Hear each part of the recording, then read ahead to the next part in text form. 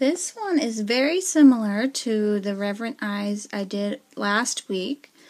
And you use it like this. You um, cut slits in here, I'll show you in a second, and then you sing the song, If you chance to meet a frown, do not let it stay.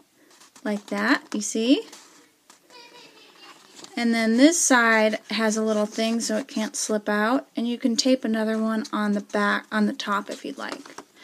Okay, so there's our frowning girl, and I'll show you on the boy. Um, you'll want to cut just outside the guides so they don't show. And if you nip off his ear a little, they won't care, I don't think. Although some of you have said that your primary children are very, um, what's the word? Have a very keen eye, I guess, for mistakes. So anyway, I go beyond these so you can't see them. Come on, little guy. And then you're going to thread it through like this.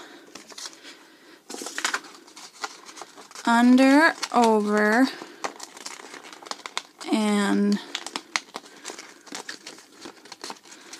under and over. And this one's a bit more work, so you got to decide if you want to do this for all your kids. I might just bring it in as a visual, but maybe I'll be feeling nice and I'll actually give them one.